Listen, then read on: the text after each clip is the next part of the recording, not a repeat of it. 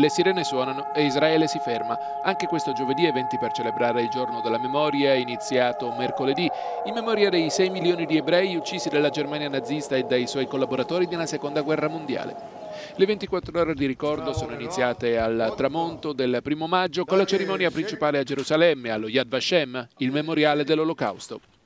Il presidente Rivlin ha parlato dell'antisemitismo montante e ha affermato Ancora una volta l'odio rialza la testa, alimentato da ondate di immigrazione, dalla crisi economica e dalla disillusione nell'establishment politico.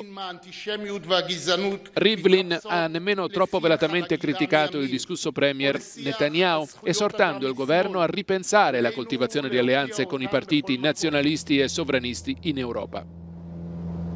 Secondo il calendario ebraico, il giorno della memoria è l'anniversario dell'insurrezione del ghetto di Varsavia nel 1943.